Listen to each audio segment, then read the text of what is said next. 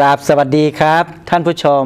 ขอต้อนรับท่านเข้าสู่รายการบ้านดวงนัมเบอร์เอขอขอบคุณมูลนิธิธนาคารเพิ่มบุญที่ได้เอื้อเฟื้อสถานที่ที่ใช้ในการถ่ายทำพบกับกระผมสิ้นแสอู อู่ทอง อู่น้ำ ผู้ชำนาญการวิชาโหราศาสตร์ดวงจีนปยหยีซีเถียว และยังเป็นผู้ชำนาญการในการหาเลิกมงคลสมรส การหาเลิกผ่าคลอดร่ำรวย และ การวางพลังฮวงจุ้ยนะครับนะพูดถึงการวางพลังฮวงจุ้ยนะเราก็จะใช้วิชาดาวเหินดาวเก้ายุคนะใช้หลอกแก แล้วก็อีกหลากหลายศาสตร์ของด้านด้านศาสตร์ฮวงจุ้ย ที่จะนำมาประสิทธิ์ประสาทบังเกิดให้สถานที่ของท่านบ้านเรือนของท่านออฟฟิศของท่านโรงงานของท่านนะครับนะได้เจริญร่ำรวยเฮงๆนะครับแล้วก็ไปได้ทั่วราด ชนาจักรนะครับ ก็สนใจอยากจะติดต่ออใช้บริการของสินแสอูก็โทรมาได้ที่เบอร์ 089 340 3857 ID Line ของกระผมก็ WU จุด Master อ่า WU จุด Master M A S Singapore T E R อูจุดมาสเตอร์นะอูก็แปลว่ามีครับผมนะในคลิปนี้เป็นการพยากรณ์ดวงชะตานะครับของทั้งหมดนะ เราจะปล่อยออกมาทั้งหมดอยู่ 12 คลิปนะอ่าคลิปละ 1 ตอนนะครับนะคลิปละ 1 ตอน ในคลิปนี้ก็เป็นคลิปของอนักกษัตริย์ปีชวดฉลูนะขานนะครับนะก็จะเป็นอของขานนะครับนั่นเองนะชวดฉลูขานเนี่ยนะเราก็จะมามาทำการพยากรณ์ให้ความรู้ให้กับท่านนะครับว่า ในปีพศ 2564 นั้นนะครับท่านที่เกิดในนักษัตริย์ปีขานั้นจะมีวิถีชีวิตต่างๆเหล่านั้นเป็นอย่างไรบ้างนะครับ เราก็จะมาเจาะลึกกันนะแต่อย่างไรก็ตามการเจาะลึกในครั้งนี้นะก็จะบอกให้ท่านเรียนให้ท่านได้ได้ทราบตามตรงว่า ไม่ใช่เป็นการเจาะลึกแบบ 100%นะครับนะก็อ่าทั้งนี้ทั้งนั้นเป็นเพราะว่า การพยากรณ์เนี่ยหนึ่งร้อยเปอร์เซ็นต์จำเป็นที่จะต้องใช้เดือนที่ท่านเกิด ใช้วันที่ท่านเกิด และต้องใช้เวลาที่ท่านเกิดด้วยเช่นกันนะครับนะเพราะฉะนั้นเราการเป็นการพยากรณ์แบบภาพรวมของคนที่เกิดปีขานนั่นเองนะอ่าเราก็มาเริ่มเลยนะครับ ในหัวข้อเลืองเรื่อง 10 ข้อคนปีขานต้องเจอแน่ ๆ ในปีฉลู 2564 นะข้อที่ 1 ขอให้ท่านาที่เกิดในปีขานนั้น ขอให้ท่านได้จดจำเอาไว้เลยว่าธาตุประจำปีพศเกิดของท่านนั้น เป็นธาตุไม้ที่มีลำต้นใหญ่ เป็นพลังหยางเป็นพลังขั้วบวก เปรียบได้กับเป็นต้นไม้ที่มีลำต้นสูง มีกิ่งก้าน แผ่กิ่งก้านออกไป พวกคนสามารถเดินลอดใต้กิ่งก้านของต้นไม้นี้ได้ เช่นต้นโพนะต้นโพเราก็เดินผ่านลอดใต้ต้นโพได้นะครับนะและต้นยางต้นมะพร้าวอะไรต่างๆเราเนี้ยนะอ่าเพราะว่าคนที่เกิดในปีขานั้นมีราศีแฝงเป็นไม้กะนะมีสามสามราศีฟ้าที่เป็นพลังแสง พลังแฝงนะมีไม้กะนะครับนะแล้วก็มีไฟเปี้ยด้วยนะครับนะแล้วก็ยังมีดินโบกด้วยนะมีไม้กะมีไฟเปี้ยแล้วก็มีดินโบกนะเป็นราศีแฝงส่งผลให้ต้นไม้ต้นนี้กลายเป็นต้นไม้ที่มีลำต้นสูงใหญ่นะครับนะอ่าข้อที่สองท่านที่เกิดในปีขานจะอยู่ในกลุ่มดาวพาหะนะดาวพาหะ ศัพท์ของคนจีนก็จะเรียกว่า ดาวเอียแบนั่นเองนะส่งผลให้คนที่เกิดปีขานนะในวัยหนุ่มวัยสาว วัยกลางคนเหมาะกับอาชีพที่ต้องออกเดินทางไกล ขับรถไปทำงานไกลๆอออกเยี่ยมตลาด ออกเยี่ยมลูกค้า หรือว่าเป็นเซลล์เป็นมักคุเทศ แล้วก็จะมีรายได้ดีเป็นกอบ เป็นกรรม แล้วก็จะมีความมีฐานะที่มั่นคงนะอ่าทำให้ได้ระรับประสบการณ์ต่างๆ มากมายเลยทีเดียวนะครับนะข้อที่3นะด้านอุปนิสัยของคนที่เกิดปีขานนะก็คนปีขานเขาจะมีความเป็นผู้นำมีเป็นคนเด็ดเดี่ยว ปรับตัวได้เก่งนะชอบสันโดษไม่ชอบสูงสิงกับใคร ชอบหาโอกาสก้าวกระโดด มีความอ่อนโยนต่อคนที่รัก มีน้ำใจร่าเริง เบิกบาน มีความกล้าหาญชอบเสี่ยงภัย นะเป็นคนกล้าพูดกล้าทำเป็นคนดวงแข็ง แม้จะล้มลุกคลุกคลาน ย่อมอย่อบ่อยนะ แต่ก็สู้นะแล้วก็กล้าฝ่าฟันต่อไป ไม่ยอมก้มหัวให้ใครนั่นเองนะครับนะนะครับข้อทีสี่4นะเรื่องราวของอดวงจีนนั้นจะมีเรื่องของพลังของสีที่เรียกว่า lucky color lucky ก็คือโชคลาภนะคัลเลอร์ก็คือสีสีที่บังเกิดโชคลาภของท่านนะนะแล้วก็ยังมีเรื่องของทิศทางของหัวเตียงนอนนะทุกๆคนต้องจำเป็นต้องนอนกลางคืนมีไว้นอนนะแล้วท่านควรจะนอนทิศเหนือใต้ออกตกหรือหรือตนออกเฉียงเหนือตอนออกเฉียงใต้ตอนตกเฉียงเหนือตอนตกเฉียงใต้นั้นนะดวงจีนนะ บอกได้หมดเลย เพราะว่าอะไร เพราะว่าความลับสวรรค์นั้นซ่อนเอาไว้อยู่ในดวงชะตาของท่าน แต่จำเป็นอย่างยิ่งที่จะต้องเอาปีที่ท่านเกิดด้วย เอาเอาเดือนที่ท่านเกิด เอาวันที่ท่านเกิด และเอาเวลาที่ท่านเกิดนะ มา แปลงร่างนะคนไทยเรียกว่าผูกดวงคนจีนเรียกว่านำมาแปลงร่าง แปลงร่างเป็นโหราศาสตร์ดวงจีนป้อยหยีสีเถียวความลับต่างๆ ก็จะพลั่งพลูออกมานะครับนะหากท่านสนใจชื่นชอบ อยากจะทราบดวงชะตาของท่านว่าเอ่อเรื่องเดือนเกิดให้ความให้เรื่องราวอะไรต่างๆ บ้าง วันที่ท่านเกิดให้เรื่องราวอะไรต่างๆ บ้าง ยามที่ท่านเกิดให้เรื่องราวให้ทราบรายละเอียดเรื่องราวอะไรต่างๆ บ้าง ก็ง่ายนิดเดียวขอให้ท่านเปิดใจนะครับนะ เรา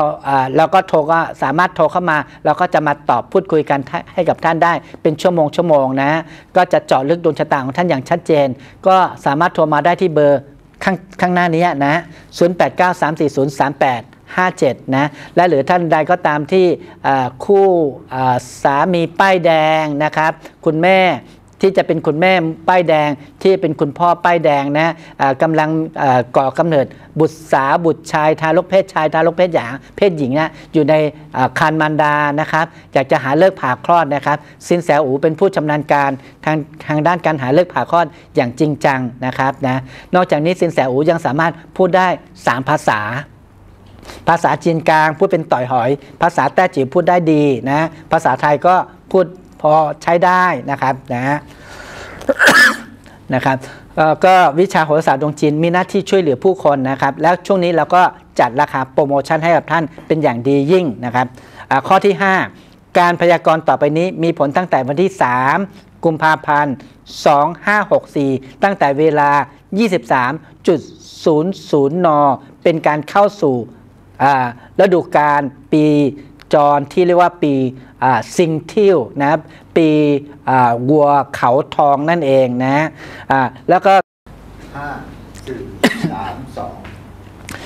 ข้อที่ 5 นะครับนะท่านที่เกิดในนักษัตริย์ปีขานนั้นนะครับนะข้อที่ 5 ก็จะเรียนให้ท่านได้ทราบว่า การพยากรณ์ใน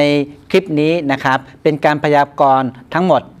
365 วันนะครับ หรือ 1 ปี โดยเริ่มตั้งแต่วันที่ 3 กุมภาพันธ์ 2564 ตั้งแต่เวลา 23.00 นาฬิกา ถือว่าเป็นการเข้าสู่ศาสตร์ลิบชุน แล้วก็เป็นการ เปลี่ยนศักราชนะเปลี่ยนปีจรจากปีชวดกลายเป็นปีฉลู แล้วก็เปลี่ยนจากเดือนฉลูกลายเป็นเดือนขานนั่นเองนะครับนะก็จะมีผล 365 วัน เริ่มตั้งแต่วันที่ 3 กุมภาพันธ์ 2564 ตั้งแต่เวลา 23.00 นาฬิการวมกันเป็นระยะเวลาไล่ไป 365 วัน หรือ 1 ปี จะไปจบเอาวันที่ 4 กุมภาพันธ์ 2565 นะครับนะอ่าข้อที่ 6 ท่านที่เกิดปีขาน ปีที่สมพงษ์กับท่านก็คือปีกุลปีมะเมีย และปีจอ ส่วนเดือนที่สมพงษ์กับท่านที่เกิดปีขานก็คือเดือนพฤศจิกายนเดือนมิถุนายน และเดือนตุลาคม ข้อที่ 7 ท่านที่เกิดปีขานจะแม้จะมีการชงและก็และท่านก็ควรจะไปแก้ปีชงในทุกๆปีที่เป็น ปี 4 พาหะ ได้แก่ปีขานปีมะเสง ปีวอก และปีกุลนะเดือนที่นำปัญหาวุ่นวายมาถาโถมสร้างปัญหาให้กับท่านนะอย่างไม่หยุดไม่หย่อนก็คือเดือนพฤษภาคม เดือนสิงหาคม และเดือนพฤศจิกายน ข้อที่ 8 ท่านที่เกิดปีขานในปีฉลู 2564 จะมีดาวเจียใช้นะซึ่งเป็นดาวมงคลนะนำโชคนำลาบมาให้กับท่าน ท่านชายที่ยังครองตัวเป็นโสด จะมีความอาจจะมีดาวกรรมเทพนำดาวความรักมาให้ทำให้ท่านหัวใจเบิกบานเป็นสีชมพูนะ แต่อย่างไรก็ตามดาว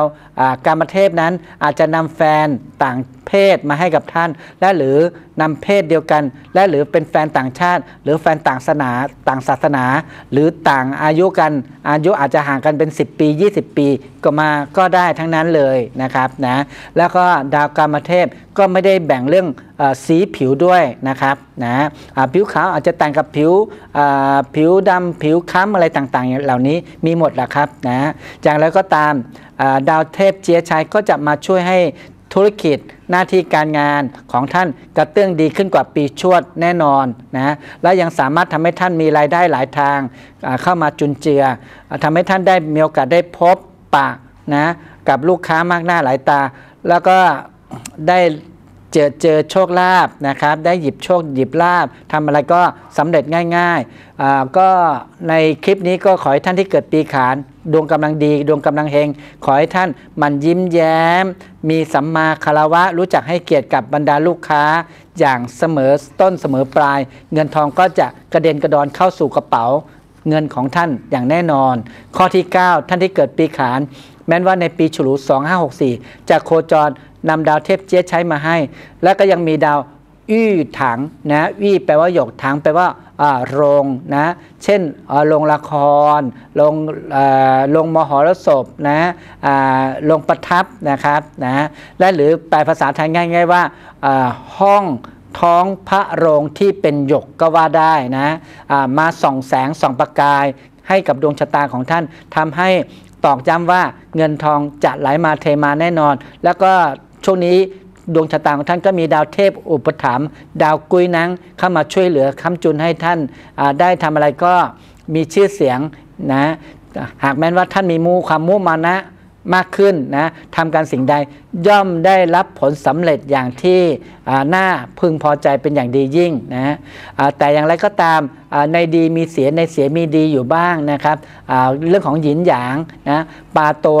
สีดำก็จะมีในตาสีขาว ปลาตัวสีขาวนะครับก็จะมีในตาสีดำหมายความว่าทุกสิ่งทุกอย่างไม่มีอะไรเพอร์เฟกแบบร้อยเปอร์เซ็นต์นะครับนะในด้านที่เสียอ่อนแอ